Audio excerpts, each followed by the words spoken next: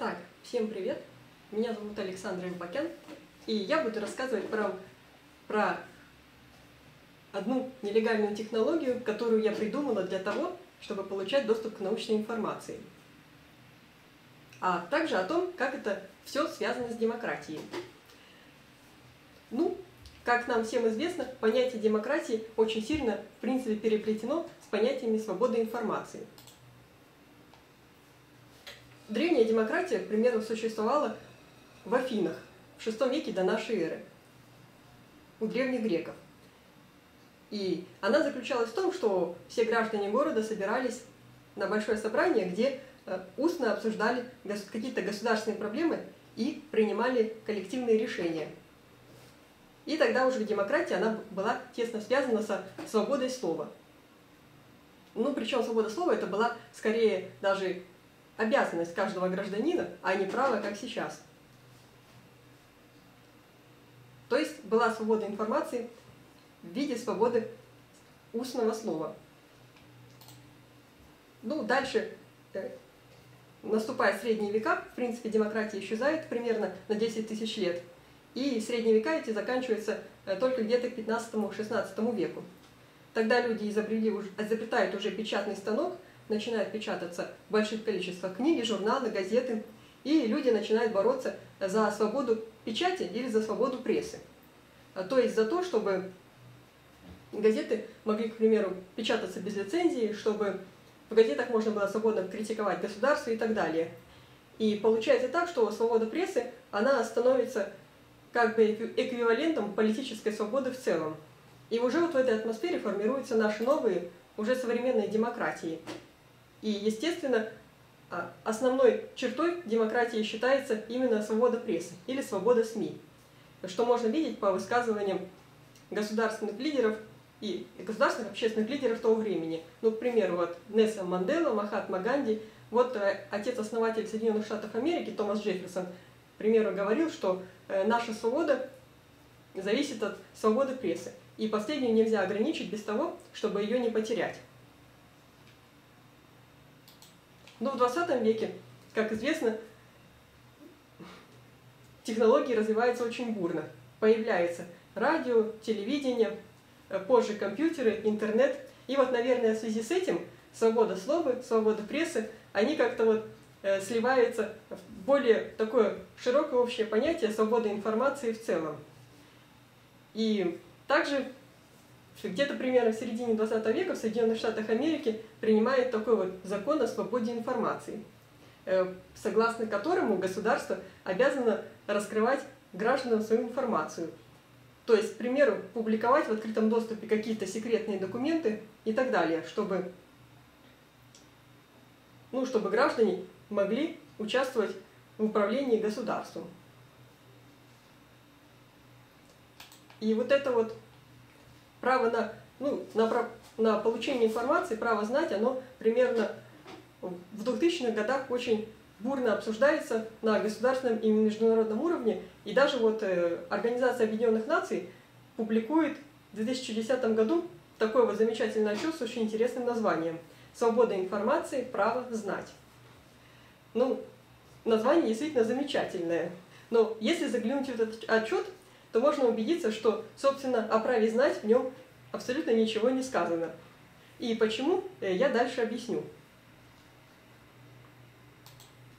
Ну и также вот э, сегодня стало, вот примерно в тысячных годах и до, до, до сегодняшних дней стало э, модно составлять разные рейтинги государств по степени их демократичности. Ну, то есть есть как бы свободные страны, где демократия, и есть авторитарные, где ограничивается свобода граждан, свобода прессы и так далее. Ну вот, к примеру, я родилась и выросла в Казахстане, и согласно по, по вот такому вот отчету, Казахстан это страна скорее авторитарная, без э, свободы прессы.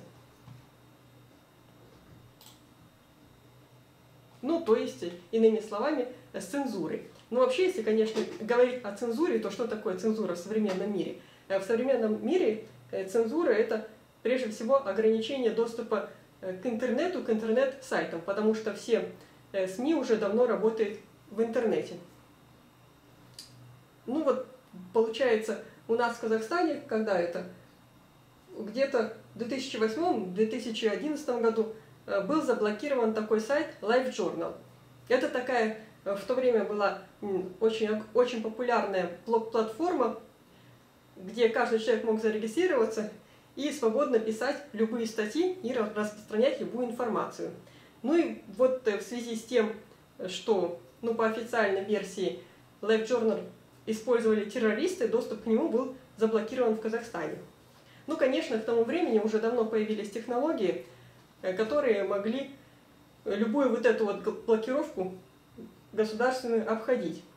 А сейчас вот для обхода таких блокировок используется в основном технология VPN, ну, иногда Tor.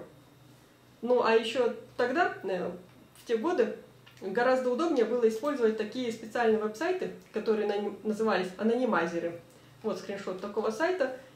И работало это так, то есть ты заходишь на этот сайт, сначала берешь ссылку, например, на статью в живом журнале, которую ты хочешь прочитать. Потом заходишь на этот сайт, вставляешь туда эту ссылку на эту статью, нажимаешь кнопку «Открыть», вот, и, и эта статья открывается без всякой блокировки. И я вот, в принципе, очень активно использовала этот сайт.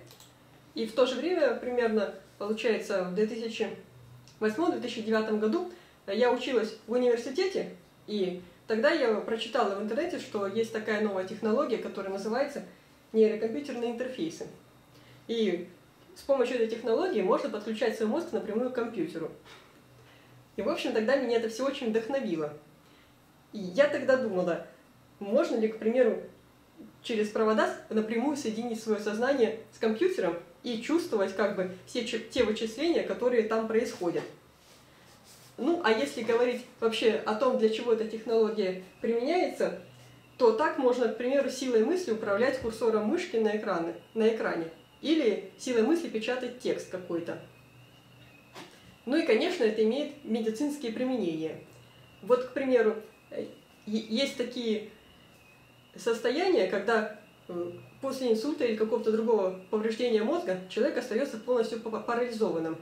Ну, причем совсем, то есть он не может даже говорить.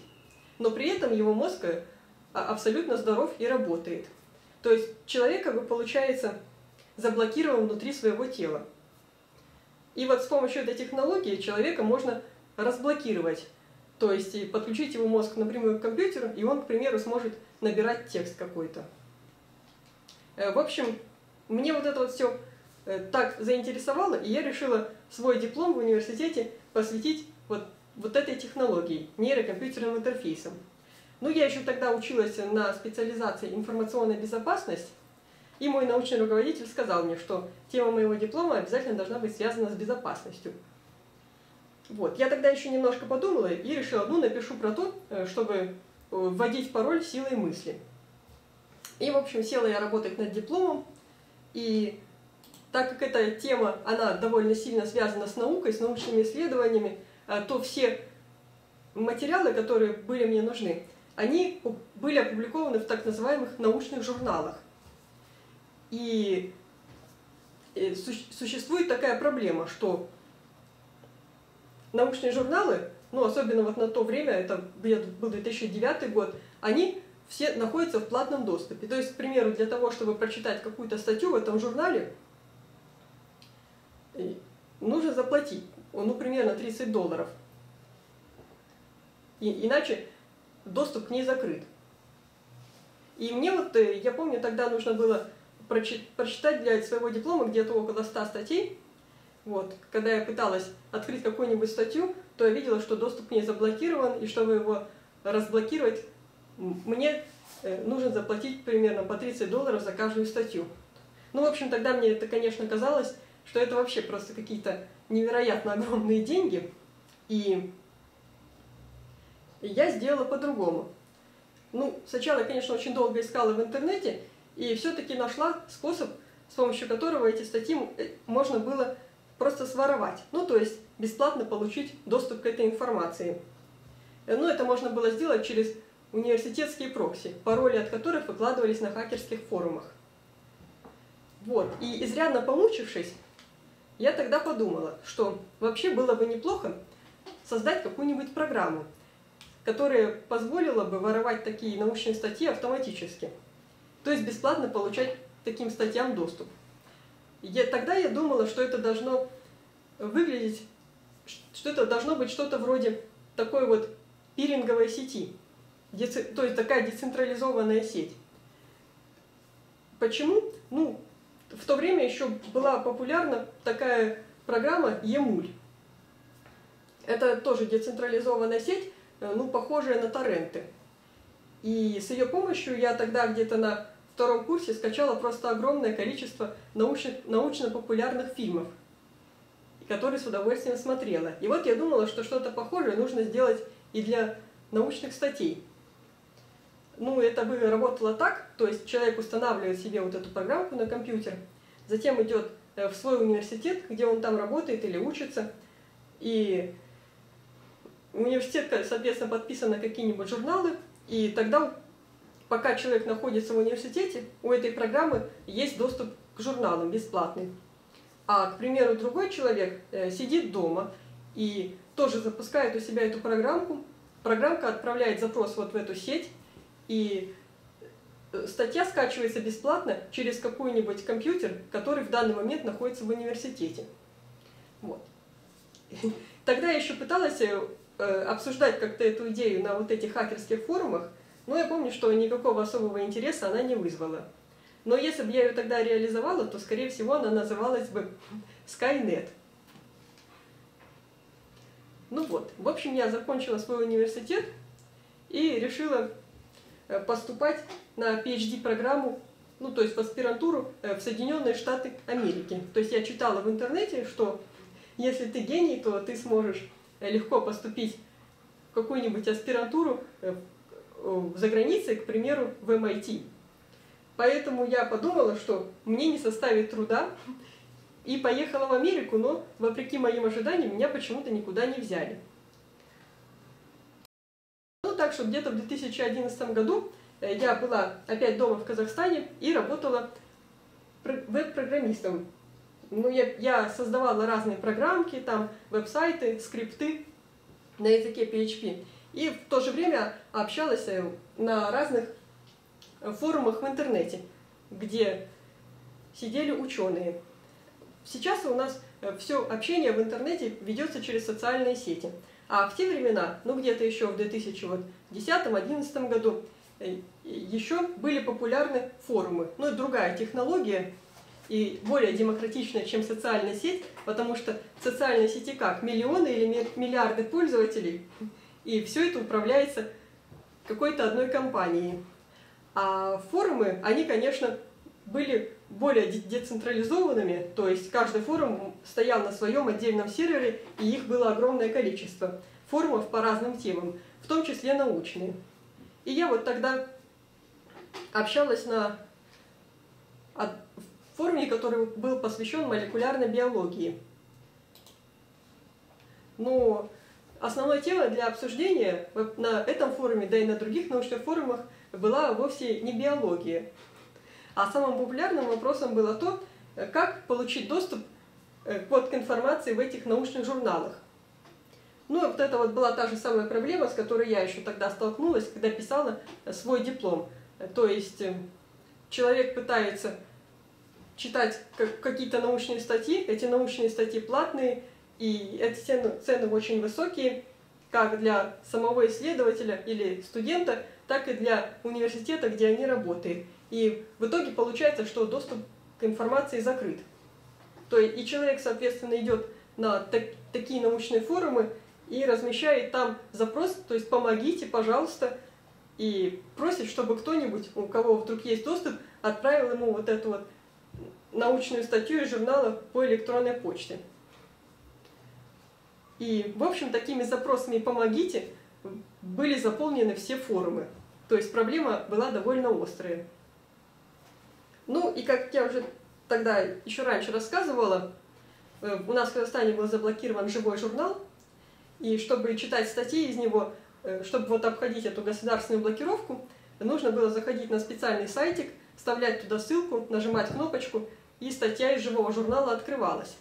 И вот тогда, как бы, меня осенило, ну я подумала, ага, ну вот надо сделать абсолютно то же самое, только не для живого журнала, а для научных журналов.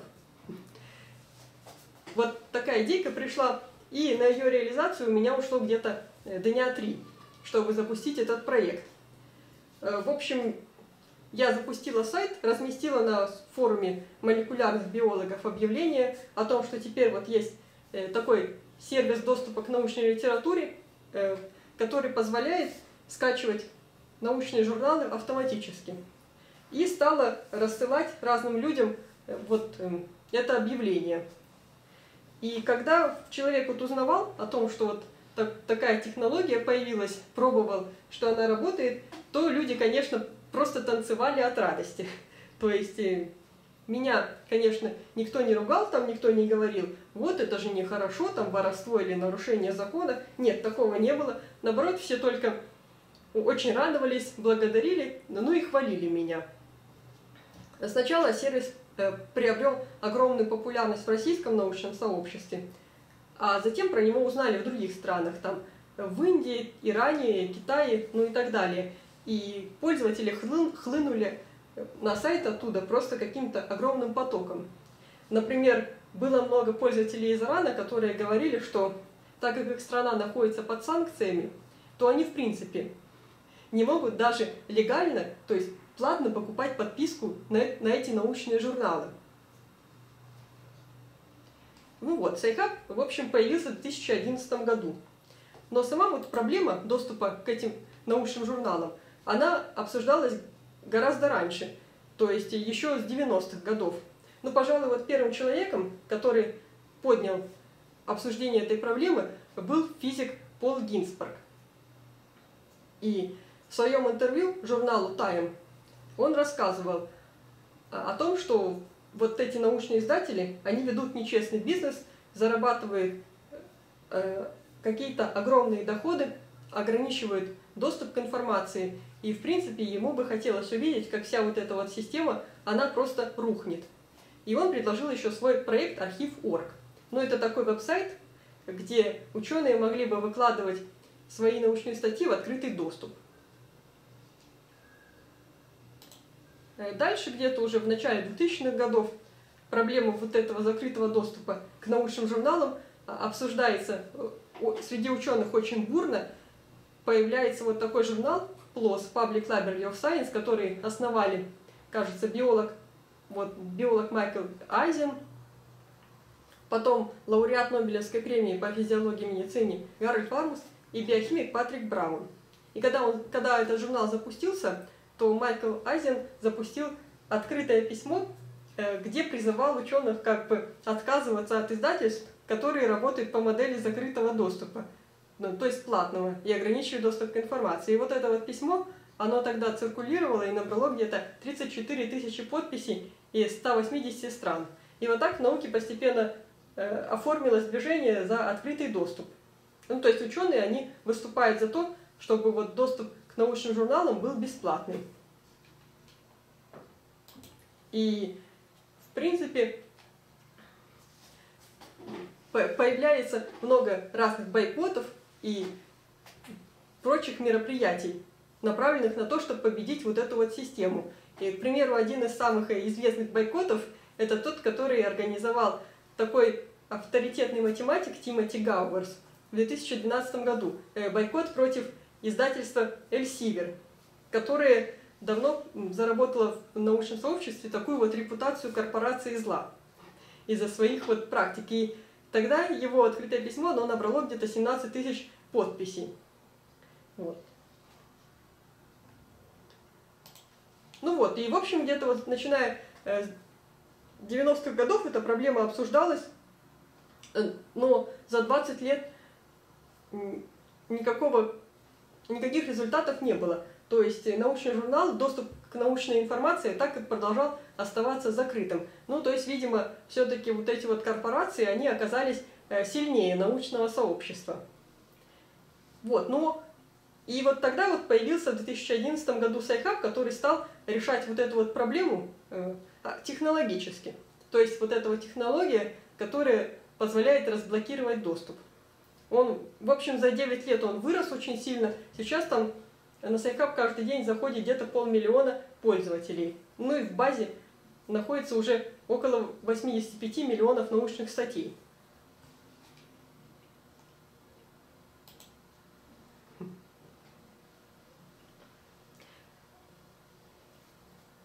Но по текущим законам, как бы вот эти вот э, научные журналы, они все-таки являются интеллектуальной собственностью научных издательств. И поэтому свободный э, доступ к ним и их распространение, как делает Sci-Hub, он приравнивается чуть ли не к воровству и называется пиратством. Вот. И причем вот эти вот законы, они действуют абсолютно во всех странах мира. А, то есть э, доступ к научным знаниям сейчас абсолютно во всех странах мира является нелегальным. И на Sci-Hub постоянно подают в суд. Ну, первый судебный иск был от издательства Эльсивер и других научных издателей в 2015 году. И тогда американский суд оштрафовал э, Sci-Hub на 15 миллионов долларов и запретил юридически его деятельность в Соединенных Штатах. И это случилось, причем несмотря на то, что общественное мнение оно было практически целиком и полностью на стороне Sci-Hub, то есть на стороне свободного доступа к научной информации. Вот. Но, несмотря на это, деятельность проекта признали нелегальной.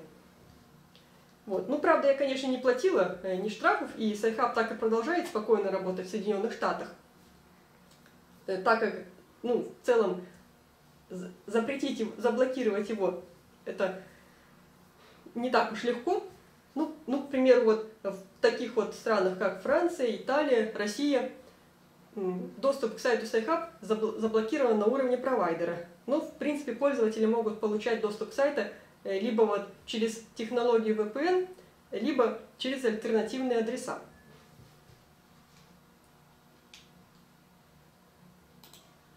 Ну, теперь возвращаясь э, к тому отчету, к тому документу, о котором мы говорили в самом начале доклада. То есть э, право знать, свобода информации. Если вы, конечно, почитаете этот документ, то увидите, что вот э, ничего, собственно, о проблеме с доступом к научной информации, об этом там не сказано вообще ни слова. Э, весь отчет касается только как свободы классической вот журналистики и свободы прессы. Но почему-то вот такой вот важный вопрос – там упускается. Э, почему? Ну, возможно, причины этого, они какие-то идеологические. Ведь э, в данном случае, если э, касаться именно доступа к научной информации, то цензура, а это именно цензура, ведь получается, что доступ к научным журналам как бы закрыт, и их свободное распространение, оно фактически запрещается. И вот в данном случае вот эта вот цензура, она как бы осуществляется не напрямую государством, а через какие-то капиталистические механизмы. Вот. И, возможно, из-за этого вот эта проблема, она выпадает на какое-то слепое пятно. Ну вот, спасибо за внимание, всем пока.